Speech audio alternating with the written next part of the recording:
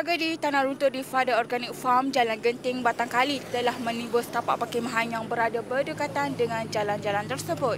Ketinggian runtuhan dianggarkan setinggi 30 meter dengan anggaran keluasan runtuhan sebesar 3 ekar. Dan setakat laporan jam 1 tengah hari, jumlah keseluruhan mangsa melibatkan 94 orang dan 62 mangsa dijumpai selamat dan 16 angka kematian telah direkodkan dan 22 orang lagi masih dalam usaha mencari dan menyelamat. Teruskan bersama dengan sumber kini untuk info terkini mengenai tanah runtuh di Batang Kali.